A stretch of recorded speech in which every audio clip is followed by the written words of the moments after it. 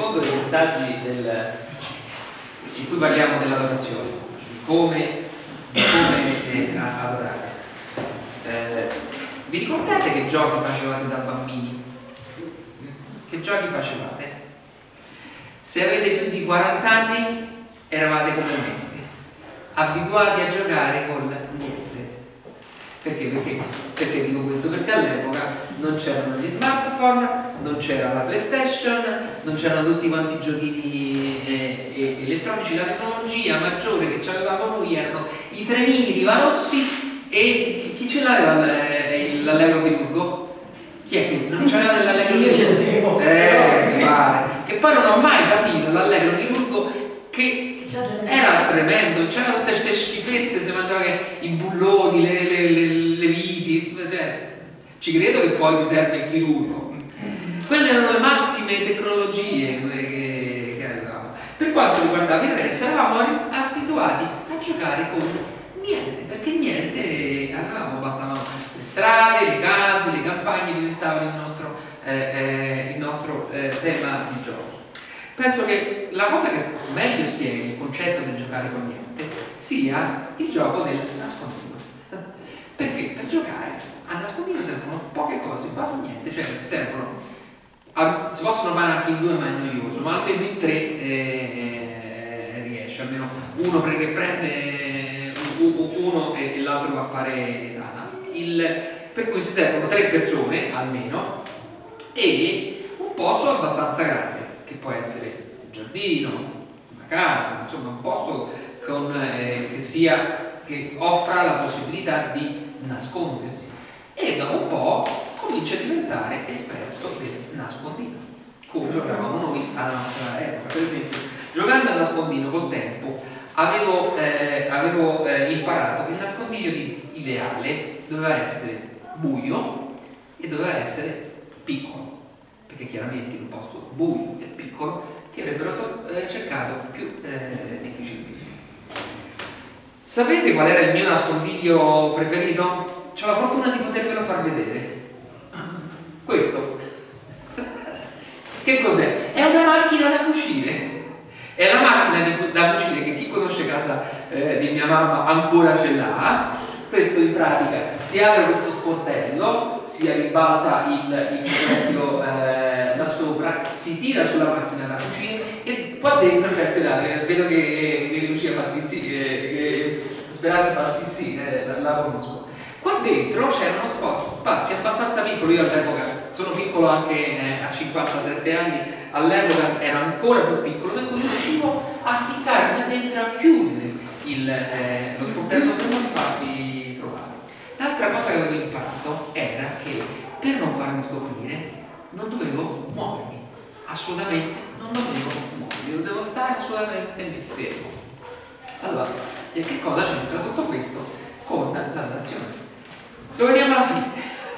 Per il momento immaginate e mettete in mente quest'idea del nascondino e del posto piccolo. La scorsa settimana, per chi c'era, abbiamo eh, detto che adorare è scoprire che Dio mi cerca, che Dio è all'attesa di me e con l'adorazione io vado ad abbracciare il mio Padre per farlo esultare, ricordate? Per farlo esultare, eh, esultare con canti di gioia, come il versetto di sopra. Oggi voglio sfidarvi a vedere l'adorazione a un passo più avanti, un passo che non sia soltanto l'accorgersi che Dio ci ama e l'accorgersi che Dio c'è e andare ad abbracciarlo. Il Salmo 22 dice così, questo è un salmo di Davide. Eh, Dio mio, io grido di giorno, ma tu non rispondi, e anche di notte senza interruzione. Eppure tu sei il santo che si è circondato dalle lodi di Israele. Allora, la parola che viene tradotta qui con siedi in ebraico è Yashab, che normalmente è riferito non a sedere su una sedia come state seduti voi, voi lo siete lasciati, sedere un'altra, un'altra cosa, ma è sedere sul trono. È il verbo che si mette per i re che siedono eh, sul trono. Infatti una versione differente, quella della Celi, dice così, questo, traduce così questo versetto. Eppure tu sei il santo, tu siedi in trono fra le lodi di Israele.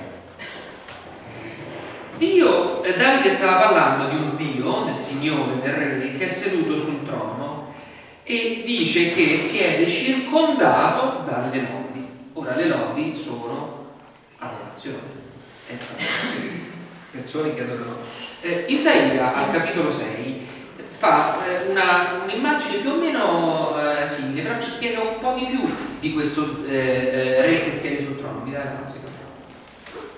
Eh, Isaia 6, versetto 1, dice così: Nell'anno della morte di re Uzia, vidi il Signore seduto sopra un trono alto, molto elevato, e i lembi del suo mantello riempivano il tempio. Ma che strano! Davide e Isaia raccontano in una situazione di crisi, perché Davide stava fuggendo da Saul che voleva ammazzarlo e Isaia aveva una nazione che non aveva più un capo, per cui erano due situazioni di crisi brutte, perché non avere un re significa che i eh, popoli vicini dice oh non c'è più il re, andiamo ad attaccare. Per cui era una situazione pericolosa. Davide era nascosto, vi ricordate, dentro le spelonche perché? Perché c'era Saul che cercava per accodarlo. Eh? Allora, e in questa situazione di crisi, loro che fanno? Vedono Dio su un trono. Ma attenzione, c'è una differenza. Mentre Davide si lamenta perché Dio è lontano, dice io sono qua, grido ma tu stai lassù in trono e non. Isaia invece che cosa fa? Dice che vede che Dio che è seduto in, un trono con i lembi del suo mantello che riempiono, a cui Dio è sul trono in cielo, e i lembi del mantello scendono dove? In terra e finiscono dove? Nel Tempio. Nel Tempio riempiono il Tempio. Cosa significa questo?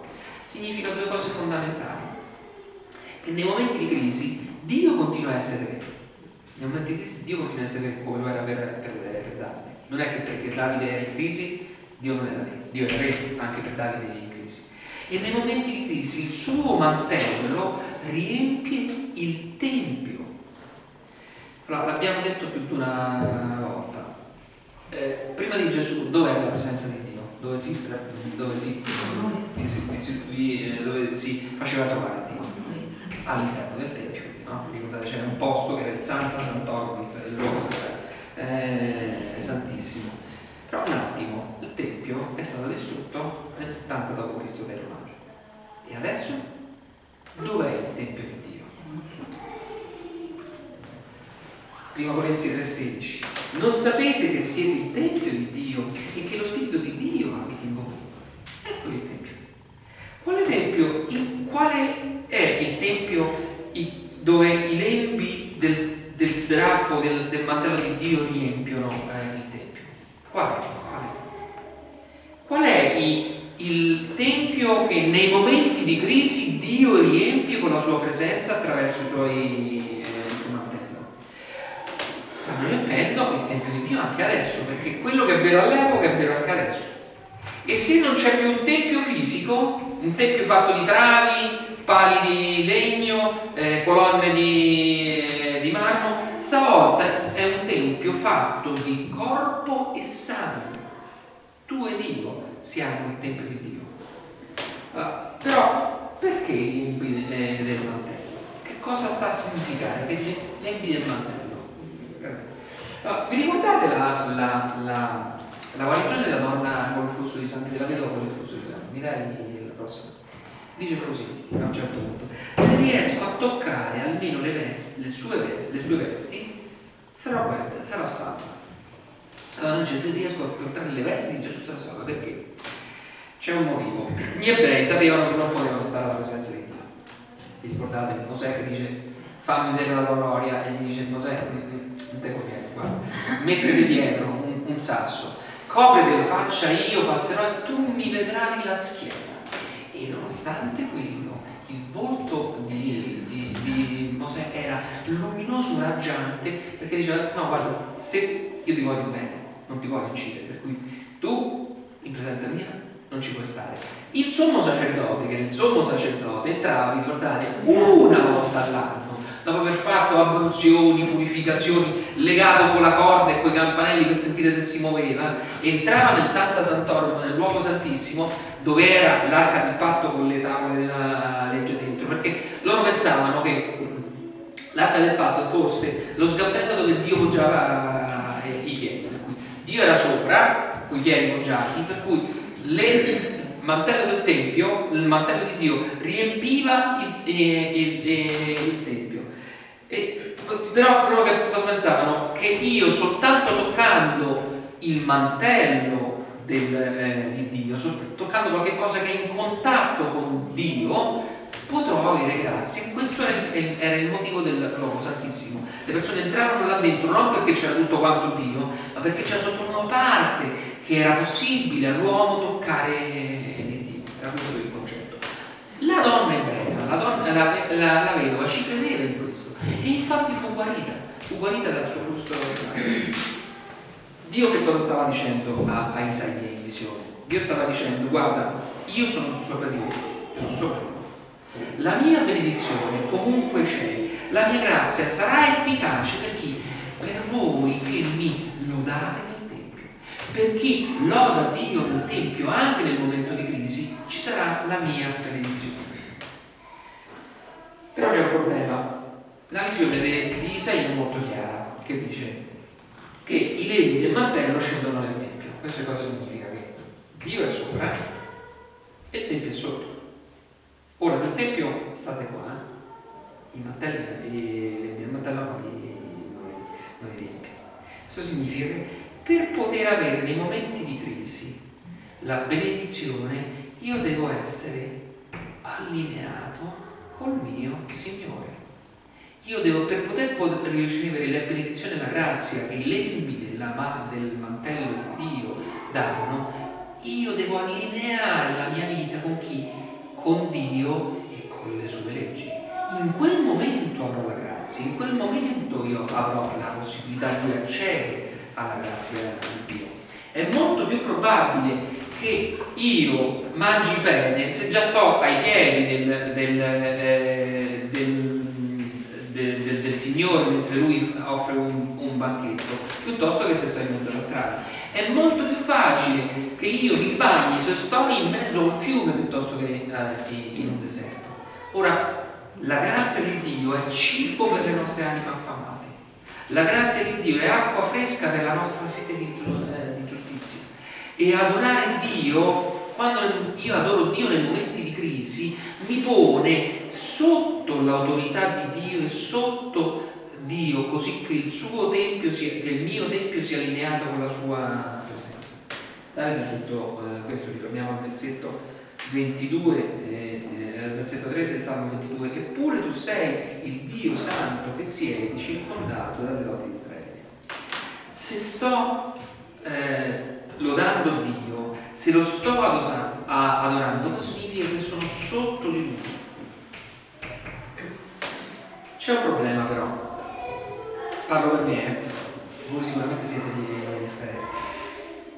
L'ultima cosa che mi sento di fare quando ho un problema grave è di lodare Dio un attimo.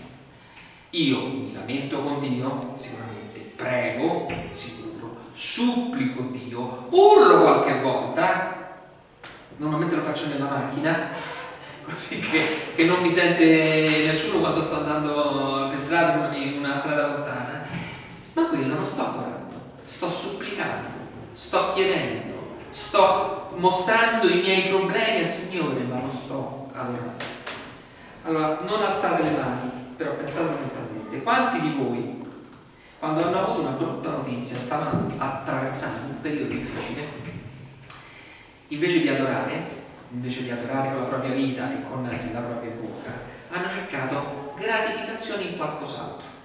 Momento brutto, una brutta notizia, cibo, dormire, alcol, anche uno droghe, sesso, pornografia. Sono tutte gratificazioni che ottieni nel momento che dici ok le cose vanno male ma sì, almeno passiamo un po' di tempo e non ci pensiamo. della nostra ottangibilità.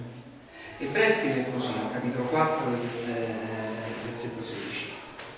Perciò avviciniamoci con piena fiducia al trono della grazia, al trono della grazia per ottenere misericordia e trovare la grazia quando siamo felici. Vero? Ho letto bene. Ah no, scusate, non è quando siamo felici. Quando ne abbiamo bisogno, tu hai bisogno di grazia nel momento che sei in eh, in, sotto pressione, che stai attraversando un momento difficile e la grazia arriva tramite la tua adorazione al Signore. C'è un versetto del Salmo 89 che ci aiuta un pochino a capire il ruolo che gioca l'adorazione nella vita del credente. Salmo 89, Salmo 89 è due pagine e mezza, però un pezzettino dice così, versetto 15. Felice il popolo che ti sa acclamare, camminerà alla luce della tua presenza, Signore. Qui acclamare in ebraico è è il, verbo, il, teru, che significa fare un rumore, fare un rumore, fare un rumore assordante. Proprio da, da, in inglese to split the ears, che si spaccano, ti spaccano le, le orecchie. E in latino la parola in italiano acclamare viene da eh, clamare, chiamare ad, chiamare qualcuno, gridare forte a qualcuno. Allora, quando io acclamo che faccio? Pensate a quando entra in, in, eh, eh, in concerto la, rock, la rockstar, che fanno? Oppure che entra in campo Ciro Immobile, o Ronaldo, vabbè, insomma, poi mette la differenza che fanno? Acclamano, urlano, urlano di gioia, grandi.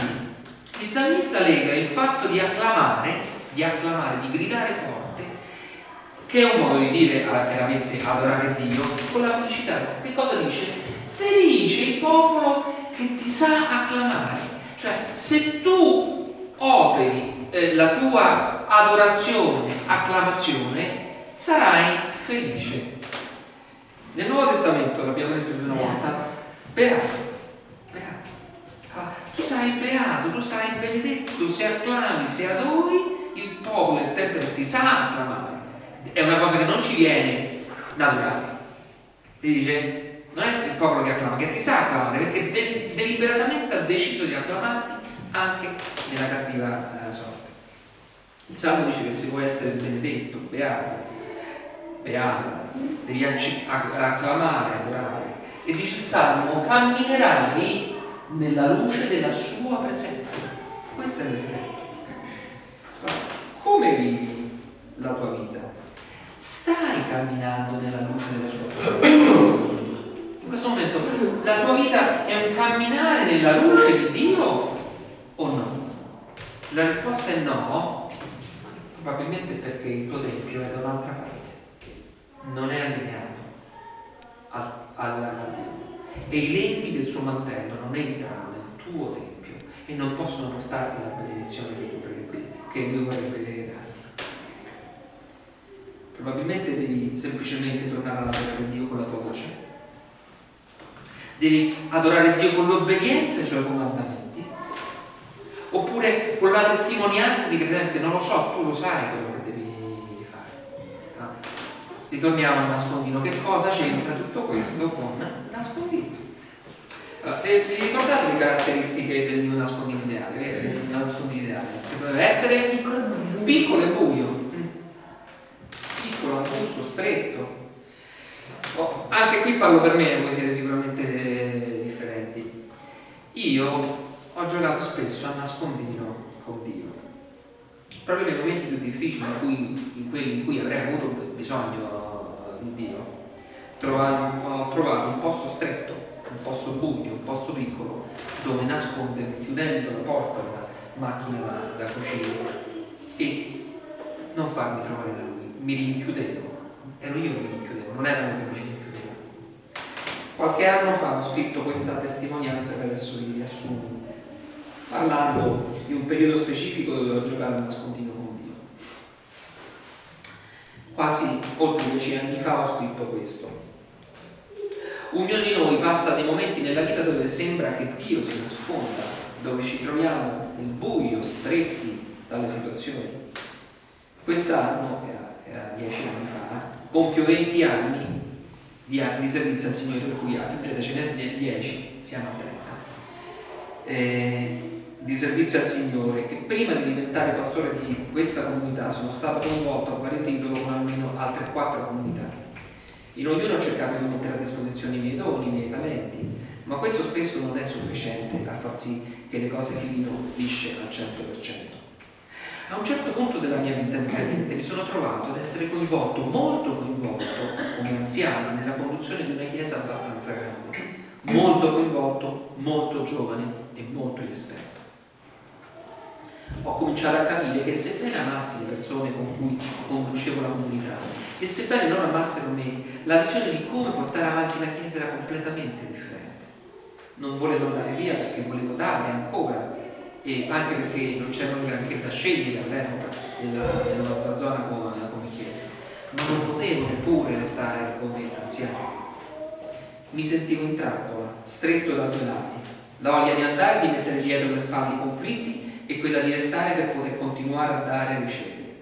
Pensai che la soluzione migliore fosse quella di abbandonare la conduzione della Chiesa e l'anzianato e rimanere, e rimanere come semplice. Non fu una buona soluzione. Ricordo che in quei giorni non avevo una gran voglia di adorare il Signore. Cantavo poco in chiesa, la domenica, e lo lodavo forse ancora meno durante le mie giornate, o forse non lo lodavo affatto. Ma una cosa avevo deciso avrei continuato a servire il Signore lì senza mormorare né parlare dietro le spalle, perché quello sarebbe stata disobbedienza al Signore che dice in Ebrei 13-17 ubbidite ai vostri conduttori e sottomettetevi a loro. Io avevo deciso di tornare ad essere un semplice membro di chiesa che doveva obbedienza e sottomissione agli anziani. Ricordo che non fu facile né breve ma ora guardando indietro so che se non avessi preso quella decisione, con tutta probabilità a distanza di anni non sarei stato chiamato a piantare una chiesa nella mia città natale. La mia carriera di servitore per il Signore si sarebbe interrotta lì.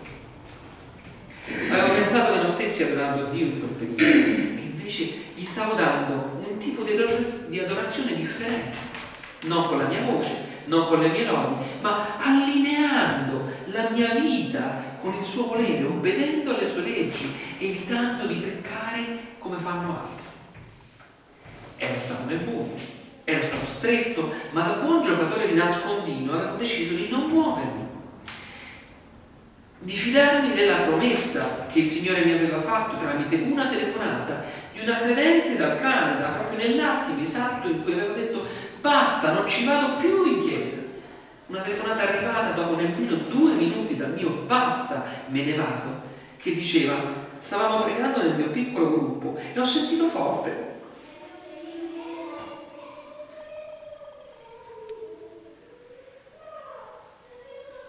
Scusate, è sempre così, sono studiato. Stavamo pregando con il piccolo gruppo e ho sentito forte che Dio mi chiedeva di dirti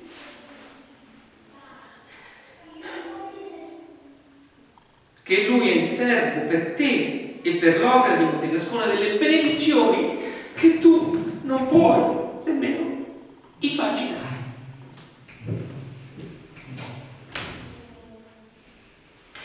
Ero stato nel buio, ero stato sotto pressione, ma ora vedo che in quel periodo Dio non stava giocando a nascondino con me.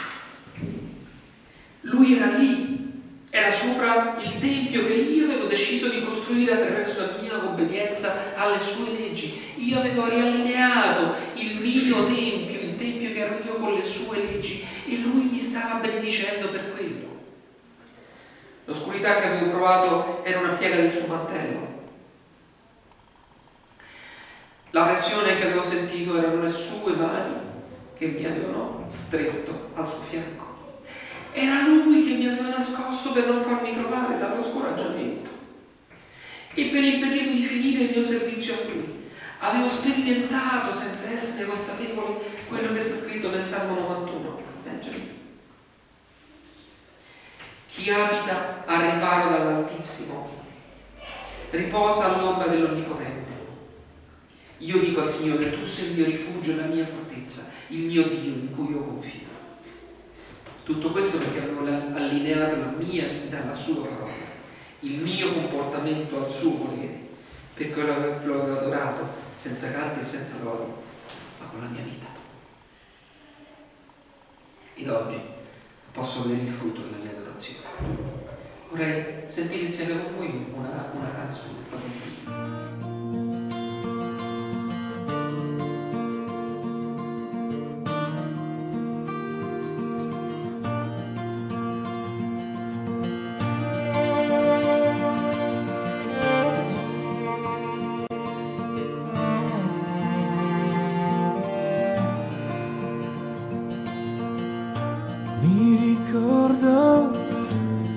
Giardino giocavamo nascondino io e te.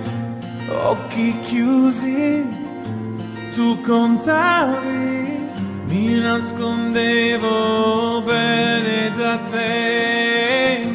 Pronto o no io vengo. Ti vedo sai faccio tana se lì dietro quelle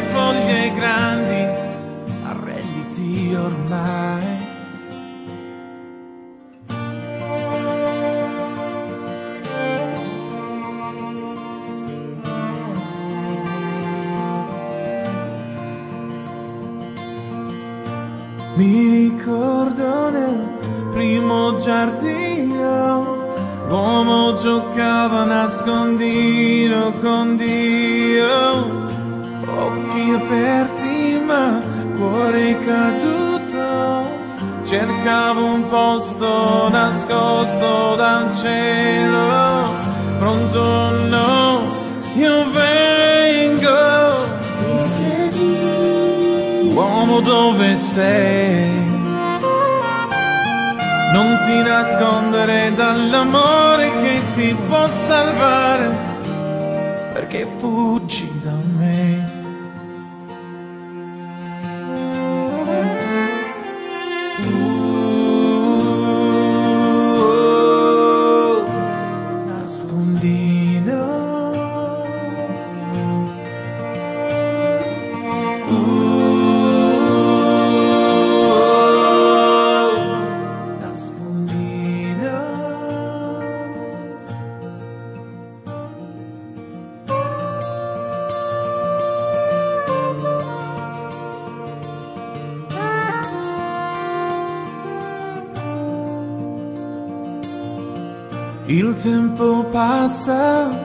siamo ormai grandi, giochiamo ancora nascondino con Dio, ci copriamo con scuse vane, mascherando i dolori e le paure, pronti o no, io vengo.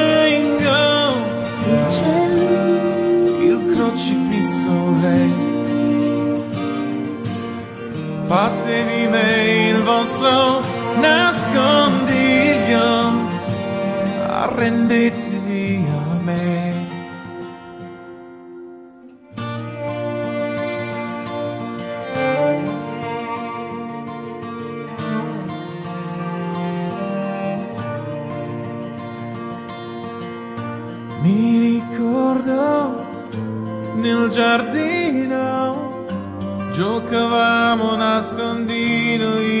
Te.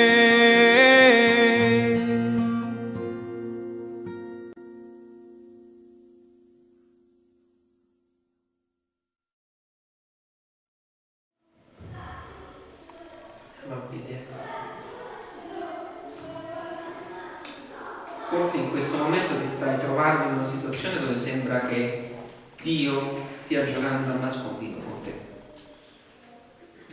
Forse sei nel buio, forse sei pressione. Non cercare un posto buio e stretto, non cercare un posto piccolo, ma cerca il trono di Dio. e metti la tua vita sotto al trono di Dio, sotto di esso. Adora Dio, adora Dio con la tua vita, adoralo con l'obbedienza alla sua parola e alle sue leggi. Vieni a immergerti nel fiume della grazia, allinea la tua vita sotto il trono, dagli il benvenuto e fallo entrare dentro i tuoi problemi.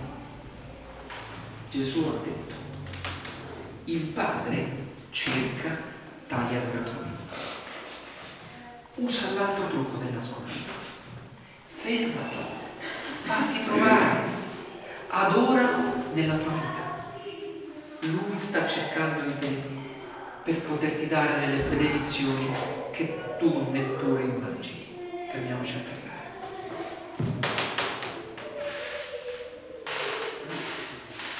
Grazie Padre per essere un Dio, un Padre che non si nasconde con noi, ma che ci cerca. Se tu sei stato colpito da qualcosa, da, da qualche eh, argomento che hai sentito oggi, prega queste cose a me, ma siano a me nel tuo. Signore, io non voglio nascondermi da te, non voglio giocare a nascondino. Io ti cerco, io ti voglio adorare in questo momento, anche se in questo momento c'è dolore nella mia vita e voglio riallineare la mia vita sotto al tuo trono perché i lembi del tuo mantello, perché la tua presenza possa riempirla e portarmi benedizioni. Signore, voglio adorarti non soltanto con le mie parole, ma con il mio corpo, con la mia vita, con l'obbedienza alle tue leggi, a quello che tu hai scritto per me, perché so che le tue leggi sono eterne e sono benevole verso di me. Ti prego, Spirito Santo, di starmi a fianco in questa sfida che oggi metto davanti a, a te, Signore. Tutto questo lo prego nel tuo santo nome, Signore Gesù.